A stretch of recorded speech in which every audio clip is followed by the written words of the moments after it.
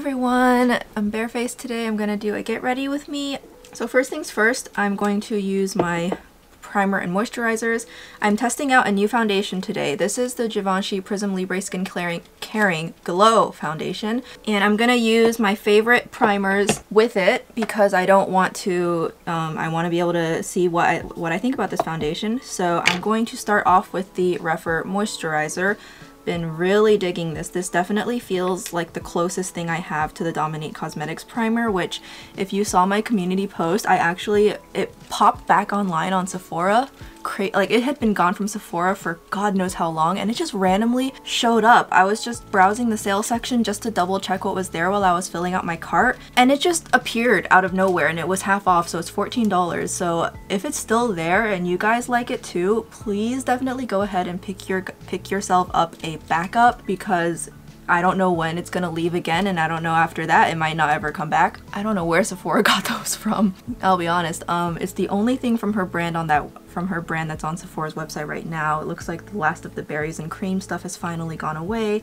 But yeah, I was really surprised. So of course I bought another one. I was gonna buy two, but I thought to myself by the time I run through the second one, the third one might expire. Cause like even if you don't open it, I feel like it would eventually go bad even if unopened. So I just bought a second one and I figured by the time I run through the second one, maybe, maybe the makeup industry will finally have something new that's similar. I mean, cause you know, makeup comes out all the time. So I just, I, this moisturizer is really nice, very lightweight. It's, um, it's getting to be that season around here. So then I'm gonna use the Pat McGrath primer. This is my favorite pore covering oil controlling primer for the spring and summer months and fall too, because I mean, I live in the south. Um, and I just rubbed this all over my T-zone and I especially focus it on my nose and the inner part. Some people have like a, a, uppercase T and other people have like a lowercase t so I have a I definitely have a lowercase t so that's where I focus most of it and then I do want to put some on my chin and then I just put the the rest very small amount up here. Much more hydrating than even professional hydrating so I like this. I during her glitch sale I bought another backup so I've gone through one. This is my second and now I have a third waiting in the wings. And then lastly for under my eyes I always use this. I think she is I think her I think her YouTube personality is entertaining enough for me but this is a really good product and it just literally my under eyes are so dry and this just has completely rescued my under eyes and my eyelids so I just keep using it. I really wanted to try the Bobbi Brown one but I can't deal with fragrance and surprisingly this is not fragranced. This is basically the best under eye primer I've ever tried ever period so unless something better comes along that is also not fragranced we're gonna keep using this which I'm actually almost out of so I'll need to get another one soon. And that's gonna be my face primed so now I'm gonna go in with this. It's in the shade N80 which is the lightest shade.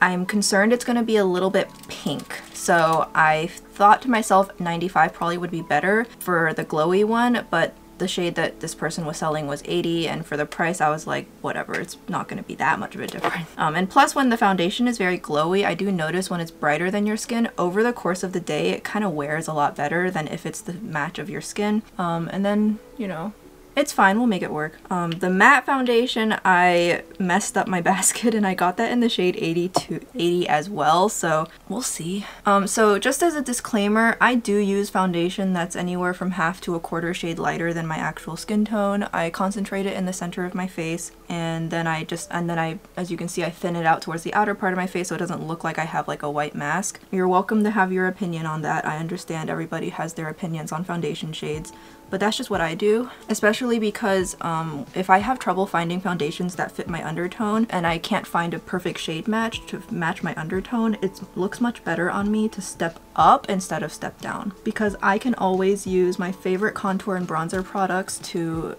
get the outside of my face to match my neck, but I do not, I hate using copious amounts of concealer to lighten up the middle. I would rather use foundation to accomplish that and then use um, bronzer and contour to kind of sculpt out the rest of my face. We all have our own methods of getting foundation to work if it's not a perfect match. So this went on really, like, it felt so moisturizing, like it felt like a really nice cream lotion as I was putting it on. If I, like, I'm gonna kind of, if I rub it on my hand, it just feels, you can kind of see on my hand how soft and silky it is rubbing out on my hand. So nice. It's not super runny, but it really thins out as you rub it in. So it's definitely a texture I really enjoy. Um, the coverage is, I would say, medium.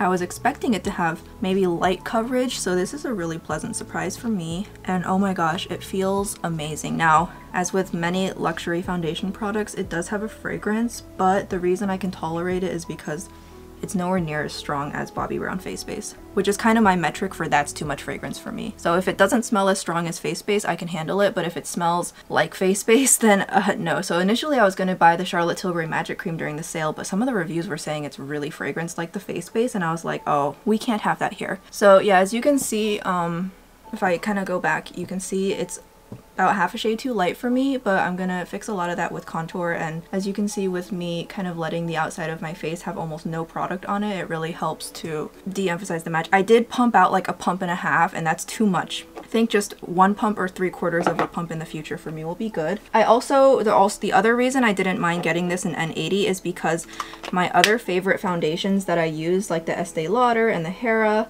they're, um, back when I first got them, I was a little bit more tan than I am now, so mixing this in is going to adjust the tone in a way that I like, and I don't think, I think if anything, it'll make the formula even better. Here's what it looks like on my skin. It looks really nice. You can kind of see there I have the ISO set to 125 now. I used to have it at like 140. I think that was too much. I turned it down to 125. And if I'm filming during the day, I think it looks fine now. I think this really lets you guys see what it looks like on my skin because I'm not trying to go for a beauty shot. I really want you guys to see how things lay on my skin. Like I, I'm, I don't want to hide my texture or anything. So my skin's kind of gnarly. I have a couple red spots, but they're not, none of the individual spots are bad, but all together it's like my skin's a little bit spotty today, but... And I used my Shop Miss A sponge, which I'm gonna have to make a separate video about this about my favorite sponges, but I, the OG Pink Beauty, Beauty blenders I bought, I I don't like as much as I thought I did. Okay, so we're gonna move on from that. I'm gonna put on my favorite concealer as usual. I'm trying to remember to color correct before I put on everything, but I just have trouble remembering, which is why I don't use my color correcting products, but definitely I want to make that a priority. I finally found my Clinique concealer brush. Uh, it was hiding under a pile of stuff, so I'm just gonna go in with some concealer. You can see the difference how well this covers everything. And this concealer is going on really well on top of my base and my foundation, so wow, this foundation currently has me in shock of how beautiful it is and how good it feels. It just feels so good on my skin. I hadn't heard many people talk about the Givenchy new skin caring foundations, uh, I know a lot of people were really excited about all the other foundation releases that came out, like NARS Light Reflecting, Charlotte Tilbury's Beautiful Skin Foundation and stuff like that. Those got a lot more buzz, but honestly, I was way more excited for these when I heard these were coming out. I had been wanting for the longest time to get the Guerlain Essential Foundations in both matte and luminous. Um, the only reason I never did is because the matte one is from Selfridges only, as far as I can tell. If I ever have the spare budget, I will definitely go buy them. Probably go just go ahead to get Selfridges Plus as well because shipping is really expensive. That's why I never get, that's why I really hate getting things from Selfridges. The shipping is a flat $30 and it's a lot and I honestly should have just gotten Selfridges Plus a long time ago so I wouldn't feel so bad about it. So we'll see. Um, but the Givenchy Prism Skin Caring Foundations in the Glow and the Matte really reminded me of the Guerlain ones that came out I think a year and a half or two years ago or something like that. But of course they were a lot more accessible because you can get them both on Sephora in the US. So that's why I got the matte one and I wasn't going to get the glow one because they are, you know, they're, they're expensive. But then I saw of course someone was on selling it on Reddit so I was like, well don't mind if I do. Honestly, I think my skin looks so good. I am in love with this. The pore coverage isn't as good as other foundations I've used, but it is very luminous, so of course it's not going to completely cover my pores. Now I will say my pores I think look good, all things considered, because of my Pat McGrath primer. I'm just in love with how this looks. This is such a beautiful foundation, and it does actually dry down to not feel super sticky on my fingers. So I'm touching my skin, and it actually feels really nicely set down on the outside, so it's not like some other luminous foundations I've tried where they stay sticky all day unless you set them. Alright, so as I said earlier,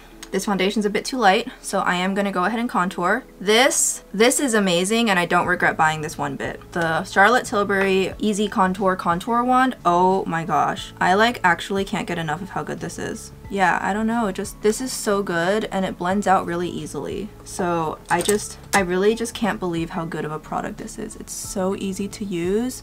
It doesn't disturb my base and it blends out to a really light color that is not super cool, but it's not too warm, so it, it works for me as kind of a bronzer contour hybrid. So I'm putting on a little more than usual today since my foundation is a little bit light, so I'm just going to really use this to kind of correct the outer perimeter of my face so that I don't look I don't look like a K-pop idol. If you know, you know. So this is the side with it and this is the side with nothing. I think you can really see the difference here as usual or in particular I don't know why I said that and I I just love this product I am so glad I bought this but oh my gosh this product I understand now why it went viral and it's so easy to use. Like I've always thought to myself that I'm not the kind of person skilled enough to use liquid products. They seem really intimidating, but this is so easy. And I really wish that aside from her spotlight wands and aside from her contour wands, if she made liquid blush shades in the exact same natural matte formula as her contour wands, she would bankrupt me. She would actually bankrupt me because that would just, that would just make, I would like actually lose my mind and have to buy those immediately. And I really try my best to not recommend high-end products to people because they're so expensive. But if you have been looking for a contour in this formula, this is really, really good and I don't think anyone would be disappointed. Now my face is looking a little bit more dimensional. Um, I don't look as mask-like, which is good. So we're gonna move on from here. I wish I had more forehead, but that's okay. I might actually break this into two separate videos. I'll just powder kind of under my eyes first and we'll see what to do from there. Because I don't actually know what I want to do under my eyes yet, or with my blush yet. I don't know if I want it to be cream or not, so. I'll just use my Pat McGrath Blurring Under Eye Powder. I need to use this more often. I'm just going to take a very tiny amount and just use that to make sure my under eye concealer doesn't budge. And I'll also go ahead and just kind of make sure my nose is mattified. And anywhere else on my face I feel like needs to be.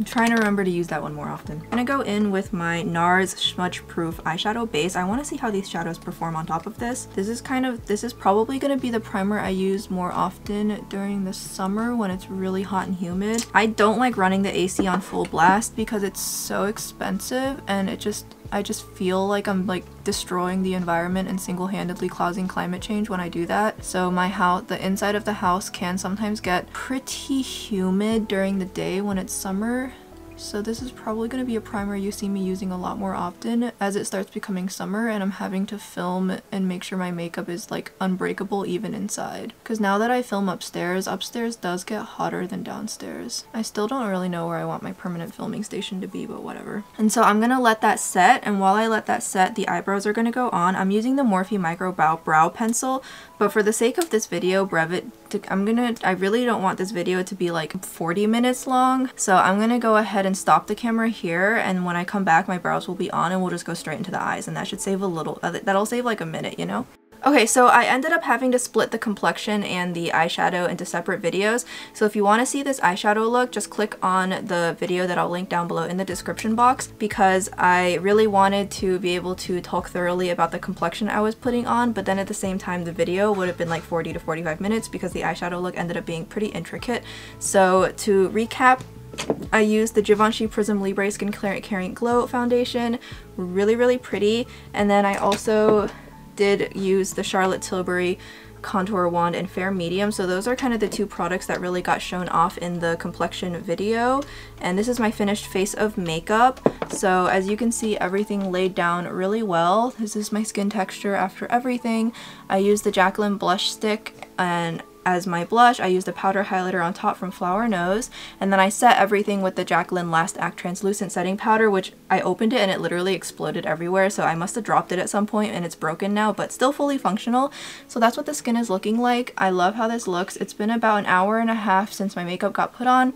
Everything looks fine. I'm gonna just spray on some setting spray and yeah, and the check again, check out the pin comment for how this foundation wore. Yeah, so far I like it. I think this foundation is gonna work out really well with me. Again, my skin is very dry, so generally I don't have wear issues, but with how humid it's becoming, we'll see. I might go on a walk this evening, so that'll also kind of help show how this wears. I hope you guys enjoyed this very brief complexion video. I usually don't split my video into videos into two like this, but honestly, it really would have just been so long, and I wanted to give a thorough demo of all the products I put on my complexion and then also let the eyeshadow video kind of stand out on its own as well. So definitely if you want to see the full look, just watch the, the complexion video and then watch the eyeshadow video and you'll more or less get everything I put on. I hope that this video helped you guys. I love this foundation so far and I think this is going to be definitely within my preferences. That's all I really have to say. Uh, I love the Charlotte Tilbury Contour Wand. If you get it, you won't be disappointed. Genuinely, genuinely love this product. So I'll see you in the next video. Hope this was helpful. Bye-bye!